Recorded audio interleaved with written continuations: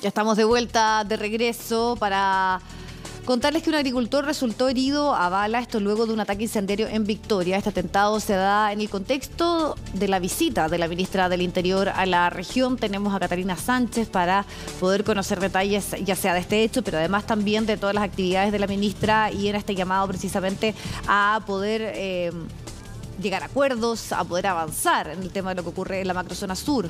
Catalina. ¿Qué tal, Vivi? ¿Cómo estás? Muy buenas tardes. Claro, efectivamente, un hecho lamentable que ocurre de forma simultánea a la visita de la ministra del Interior, Carolina Toa, a la región de la Araucanía. Un agricultor herido eh, producto de un disparo en su cadera. Está siendo eh, llevado en estos momentos a la comuna de Victoria, al hospital específicamente, y la ministra confirmó hace escasos minutos que ya se va a trasladar hasta el lugar para poder reunirse con esta persona herida, con este agricultor. Un hecho que ocurre durante la mañana, justo cuando se desarrollaba esta nueva versión de Enera, eh, cuando participaba justamente la ministra del Interior, cuando exponía frente a los empresarios que estaban participando en este encuentro, y se da cuenta de un nuevo hecho de violencia que eh, lamentablemente ocurre pasadas las 8 de la mañana y que da cuenta de que llegan cerca de 7 a 8 sujetos a rostro eh, cubierto con ropa de camuflaje militar, decían también las autoridades, y también armados. ¿Qué hacen ellos? Bueno, proceden a golpear a un hombre, al agricultor, al dueño de este predio y posteriormente proceden a sacar a su esposa y su hija de la casa para incendiar esta casa, eh, bodegas y maquinarias agrícolas también que resultaron completamente consumidas por la acción del fuego. Esta persona fue llevada al hospital de Victoria para ser, por supuesto, revisado por los médicos. Él estaría fuera de riesgo vital, pero sí con una lesión importante en su cadera producto de este ataque. Además, según se señala en videos que realmente son impactantes, viví que dan cuenta de los gritos de desesperación, eh, de mm, eh, rabia también de esta familia de ser víctimas de un nuevo ataque. Eh, manifiestan que fueron maniatadas, que fueron amarradas estas personas y veían cómo ardía todo en cosa de segundos. Hay videos que se han viralizado rápidamente y que dan cuenta cuenta de este nuevo ataque, pasemos justamente a revisar parte de ese ambiente que relata, ¿cierto? Que muestra muy claramente este desesperación y estos gritos eh, que registra justamente la familia afectada en Inspector Fernández en la comuna de Victoria. Escuchemos. Así se quema la casa. Toda una vida trabajando.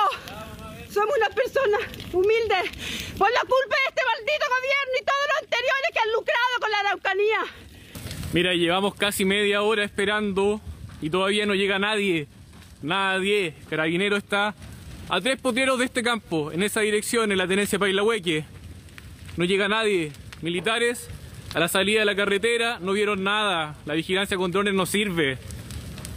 Miren todo el esfuerzo quemado, nuestra casa, calpones, todo. Claro, son eh, parte de los registros que se dan, se viralizan, ¿no? En estos videos eh, realmente impactantes, gritos de desesperación, de pedir ayuda, de molestia también, lo decía la familia, eh, de cómo ver todo un esfuerzo envuelto en ceniza se vive. Y claro, se genera ahí la molestia por la llegada de personal de carabineros, de personal militar también que hoy día patrulla en la ruta 5 Sur, que está justamente en las cercanías de este sector de inspector, inspector Fernández, digo, en la comuna de Victoria. Esta persona que resulta lamentablemente herida por un disparo a la altura de su cadera fue llevada rápidamente al hospital de la comuna para poder ser revisado, por supuesto. Se confirmó que está fuera de riesgo vital, pero también reaccionó durante esta mañana, que hace pocos minutos, la ministra del Interior, Carolina Toa, respecto de esta situación y lamentaba y decía que es infeliz que mientras ellos en ELA hablan sobre la paz, sobre el desarrollo, sobre la inversión y sobre la seguridad, se haya em, perpetrado ¿no? un nuevo ataque em, armado, un nuevo ataque incendiario de la comuna de Victoria. Decía que como gobierno están muy preocupados por esta situación y que van a seguir trabajando con todo el peso de la ley para poder perseguir a quienes hoy día cometen este tipo de hechos. Y un punto muy importante que ya lo van a ver en imágenes es que en el lugar de los hechos además se dejó un lienzo. Un lienzo, Vivi, que eh, exige el traslado inmediato de los seis comuneros. Recordemos que fueron llevados a otros centros penales tras secuestrar, como dijo la ministra, a tres gendarmes en la cárcel de Angol. Recordemos además que tres comuneros tuvieron que ser em, traídos de vuelta a la región de la Araucanía, pero hay 13 que están condenados que se mantienen fuera de la región. La ministra dice que esto no los va a amedrentar, que ellos van a seguir trabajando como gobierno para poder entregar seguridad y por lo mismo, en estos minutos ya se traslada hacia la comuna de Victoria para poder reunirse con esta persona herida. Pasemos a revisar qué fue lo que nos comentó durante la mañana y hace pocos minutos también la ministra y también el gobernador regional Luciano Rivas. Es particularmente infeliz que mientras teníamos este momento de diálogo, simultáneamente se desarrollara un atentado como en el que sucedió en la comuna de Victoria.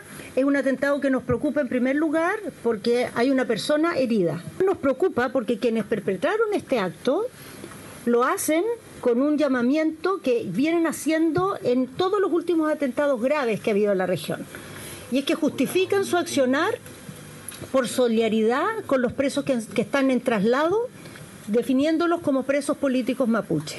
Delitos políticos son cuando se persigue a alguien por su pensamiento, como pasó en la época de la dictadura. Las personas que cometieron homicidio, las personas que venden cosas robadas, las personas que trafican droga, eso no es un comportamiento en un pensamiento político, eso es un delito.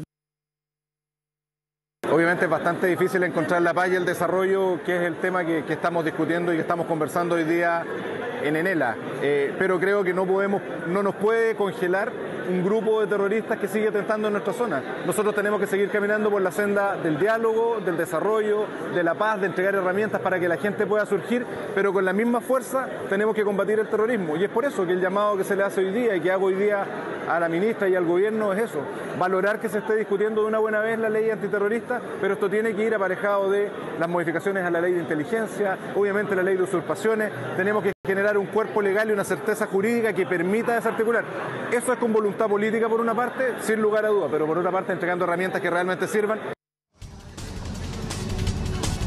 Claro, un hombre de 66 años que resulta lesionado por un impacto balístico, reiteramos, a la altura de su cadera. Estos sujetos que eran cerca de 7 de agosto, según informó el Ministerio Público, llegaron eh, al parecer en vehículos eh, armados, eh, con ropa de camuflaje tipo militar y proceden a quemar por lo menos tres galpones, una vivienda, un vehículo y además eh, robaron una camioneta en el lugar de los hechos. A esta hora, Vivi, hay un amplio operativo policial. La Fiscalía instruyó que fuera la Policía de Investigaciones quien quedara a cargo de las indagaciones, pero también estuvo Carabineros durante la mañana para poder además hacer despejes de ruta en lo que es, por ejemplo, en Barros Arana, Teodoro Smith, Quepe, Freire, y todo esto en rechazo a la visita de la ministra del Interior, Carolina Toá, según lo expresan también en este comunicado que se emitió por redes sociales, eh, en el cual la coordinadora Arauco Mayecos adjudica directamente este nuevo hecho de violencia. Además, hace alusión justamente al repudio que ellos sienten por eh, la presencia de la autoridad de gobierno en la zona y exigen, reiteramos, el traslado de estos seis comuneros eh, una vez más a la región de la Araucanía. Por supuesto hay reacciones del mundo político, parlamentarios que estuvieron además de participando en esta mm, versión número 19 de Enela, quienes hoy día cuestionan que se hable de paz cuando no la hay, dicen ellos en la región de Araucanía, y que se requieren más medidas, eh, to- a tomar acciones concretas para evitar que esto siga ocurriendo y más allá de los atentados, Vivi, que no hayan personas heridas tal como ocurrió durante esta mañana. Pasemos a revisar reacciones de algunos parlamentarios.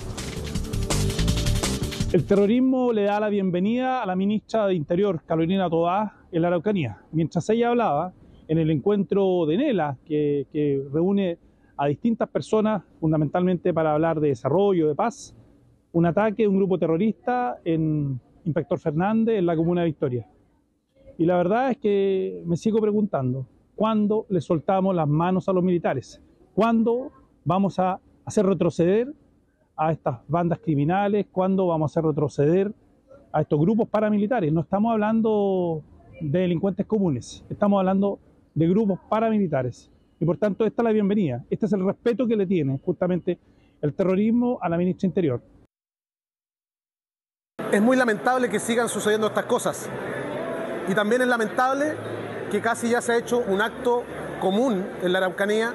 Cada vez que viene una autoridad al nivel central, son recibidos con un ataque incendiario. Aquí hay dos mundos al parecer, porque escuchaba a la ministra del Interior respecto a lo bien que han ido las cifras mejorando en materia de ataques incendiarios en la región de la Araucanía.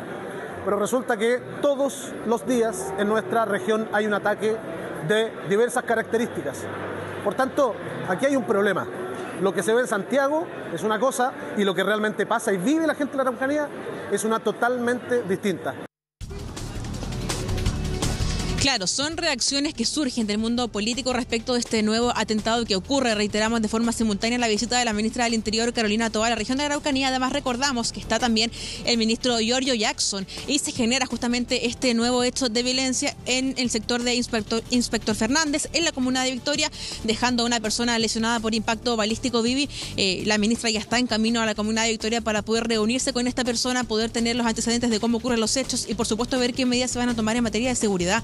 Eh, ha sido una em, mañana compleja, mm. hay que decirlo por esta situación, porque hay un amplio operativo policial para poder dar con los responsables. Es, algo, Vivi, que siempre comentamos. ¿Qué pasa con las investigaciones? ¿Qué pasa con las personas que hoy día cometen estos delitos, eh, atentados incendiarios, ataques armados, que lamentablemente en esta jornada deja a una persona eh, lesionada por impacto balístico? Así que estaremos ahí atentos a lo que sigue ocurriendo con esa noticia, con esa información preocupante, lamentable. Lo cierto es que la ministra ya va en camino a la comuna de Victoria para poder reunirse con esta persona herida y por supuesto estaremos informando durante esta jornada también de las otras actividades que vayan surgiendo tanto por la ministra del Interior como también por el ministro Giorgio Jackson y cómo se desarrolla finalmente esta jornada eh, número, esta nueva versión, ¿cierto? De Enela que se desarrolla acá en Temuco, un encuentro empresarial, pero que lamentablemente em, avanza con noticias eh, tristes, en este caso lo decía la ministra, para poder informar que hay una persona lesionada y hay por lo menos una casa, eh, maquinarias, tractores y también tres bodegas que quedaron totalmente consumidas por la acción del fuego producto de